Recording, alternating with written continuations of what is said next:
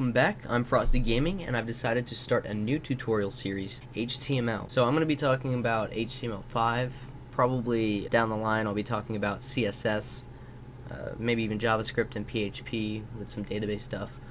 But for right now, we're just doing basic HTML. This series is going to be for people who have never really messed with HTML before, but they're interested in developing web pages. This first video is just an intro to HTML5. I'm not going to be doing any coding. I'm going to be talking about some code, but if you have any kind of like coding experience, or if you just want to get right down into it, you might want to start off with the next video where we will be developing our first web page. So right off the bat, I'm just going to say that uh, there's this website called W3 Schools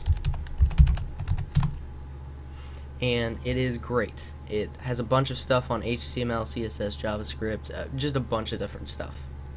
And I highly suggest you go here, and this is more of a text learning website. I usually come here when I'm stumped on something or I don't know the exact properties of something on the web and I need a little refresher. Basically, my video tutorial series is going to be following along with a lot of the HTML stuff on this website. So if you're more of a text-based learner, not a video-based learner, or an audio basic learner, then check this out. So, what kind of tools do you need for web development? Well, not much really. I would say that you just need a basic text editor and a browser to test it on. Text editors, Notepad comes with Windows, TextEdit comes with Mac. You can get other ones like Notepad++, which is a little bit uh, better in my opinion than Notepad, or uh, Sublime Text, which is what I'm going to be using, and they're all free.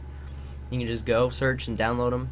With browsers, I'm going to be using Chrome because that's what I'm most familiar with. They have a really good uh, inspector uh, so we can actually see what's going on while we're looking at the web page.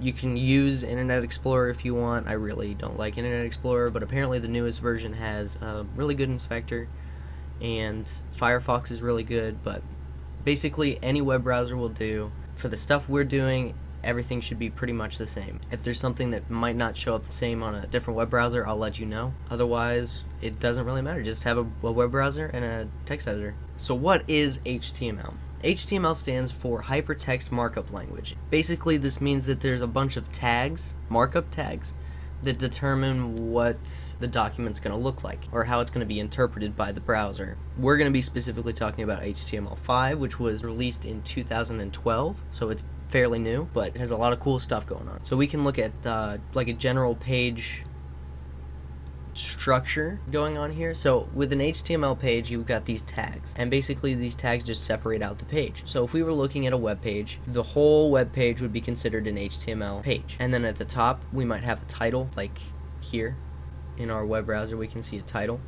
And that would be in the head. And then when we talk about the body, that's everything being shown inside of the container. There we have headings, paragraphs, links, images, a bunch of other stuff. But this is the basic structure of an HTML web page. Next we can talk about tags. All of these things in brackets are tags, HTML, head, title, H1P, you, you get the idea. And these are keywords that are surrounded by angle brackets. All the tags in HTML are surrounded by angle brackets, as far as I know. You can see here that these are nested, so there's HTML, and then all of this is in HTML, and then like we have head here, and the title is inside of the head, and we have all of these, and these are all inside the body. The first tag is called the start tag, and the second tag, the closing one, is usually called the end tag, or closing tag. Either one works. So if we had this document, and we opened it up in a web browser, HTML, head, title, body, all this, all these things, all these tags would not show up on the page. They're just telling the browser how to display the page. So that's pretty much just a little intro to HTML5. In the next episode, we're going to get hands-on. We're going to make our first HTML document. So I would suggest getting a text editor that you want to use.